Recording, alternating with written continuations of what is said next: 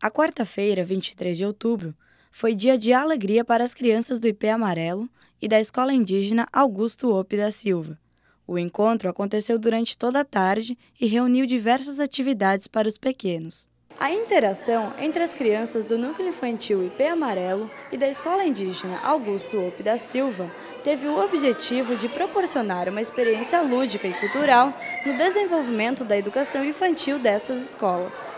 Durante a tarde na escola, as crianças ouviram histórias, fizeram pinturas e praticaram brincadeiras. A Sedufisme tem, ela trabalha a questão indígena.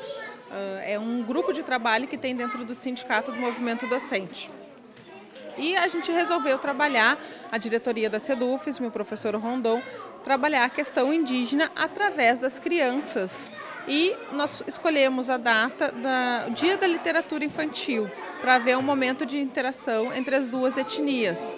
Né? E como as crianças caigangue falam a língua materna, a gente, no primeiro momento, pensou em promover um encontro que eles expressassem as suas histórias, que eles contassem as suas próprias vivências Mas não haveria como eles entenderem, compreenderem no primeiro momento com a dificuldade da língua. Então foi montado um teatro junto com saca-rolhas, um roteiro e foi apresentadas as histórias através de um contador de histórias.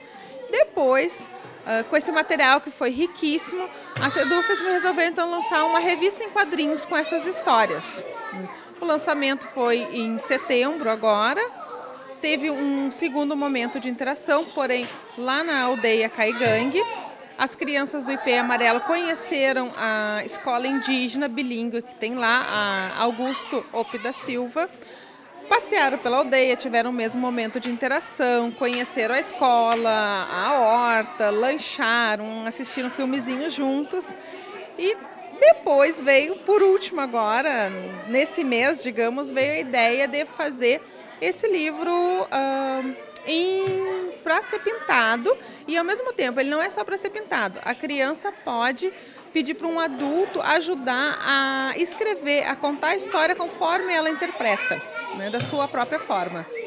O livro intitulado As Aventuras do Índiozinho Bretan conta uma história real de um curumim que conhece a cidade. A obra se torna instrumento de aprendizagem já que traz valores de uma criança indígena próximos a uma cultura onde muitas vezes é percebida como preconceituosa.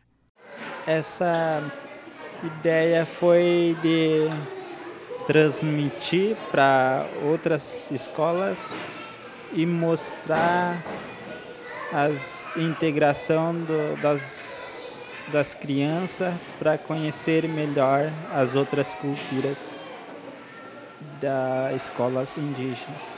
O livro foi uma forma de incentivar as crianças a buscar uh, conhecer as diferentes culturas. Esse livro tem um, a história do, do índiozinho, né? Que mora lá no, no, no, na aldeia Kentayuk Tentu, que é Tresoita. Ele mora lá na aldeia e foi pro centro, né? E chegou lá e encontrou o chafariz, né? Que é, é uma historinha realidade, né? Que foi escrita pelo professor Natanael da escola, né? E que ele construiu é, esse livro para incentivar outros que ali moram da aldeia. As crianças tiveram a oportunidade de compartilhar suas histórias e contribuir com o enriquecimento da educação. As atividades elas estão sendo bastante interessantes porque as crianças estão conhecendo algo diferente do dia a dia delas e, eu acho que essa a importância é exatamente isso, é trazer para a cultura dos brancos uh, aquilo que eles desconhecem ou também uh, desmistificar a, a ideia que se tem de índio, né? Eu acho é muito importante isso, eles conhecerem que existe uma outra cultura e que essa cultura uh, contribui para a cultura dos, né, para nossa cultura, que eles, que, que os índios eles têm, eles têm algo muito semelhante conosco, né? Os índios de hoje em dia, eles têm casa, eles têm um nome que também faz parte, que é, que é o nome que os nossos, as nossas crianças também têm. Eles brincam como, os como as nossas crianças, eles olham televisão, eles vão ao shopping. E essa, essa, eles passarem a conhecer isso é bastante interessante, porque eu acredito que muda a forma como as nossas crianças vão vê-los e respeitá-los futuramente. Uh, eles passam a não ver mais o índiozinho, aquele que, que mora, que está lá no calçadão pedindo dinheiro.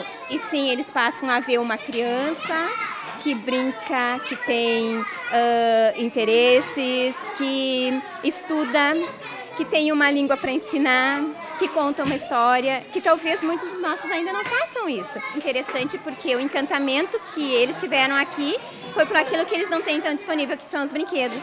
E os, e os nossos, o encantamento foi pelo espaço, foi pela horta, foi pelas galinhas. Então, assim, houve uma troca realmente. Eles puderam, uh, puderam conhecer um espaço que não é familiar deles, porque a maioria mora em em apartamentos, moram em prédios, né? Eles fizeram trocas do livro, né? Eles fizeram, construíram a história, e daí eles estiveram aqui no ano passado. Daí esse ano o livro foi confeccionado e foi trazido para uma amostra aqui na escola, né? A gente foi também no dia do lançamento do livro, foi uma, foi uma troca muito legal, muito gratificante, assim. A gente, a gente percebeu que as crianças saíram do espaço delas e foram para um outro espaço que, por mais que seja parecido, é diferente. E hoje, quando eles chegaram aqui, os olhinhos brilharam, eles começaram a olhar os brinquedos, a gente pode perceber que mesmo as culturas sendo diferentes, as crianças são crianças, né? A ação foi uma iniciativa da Sedufsme e da direção das escolas.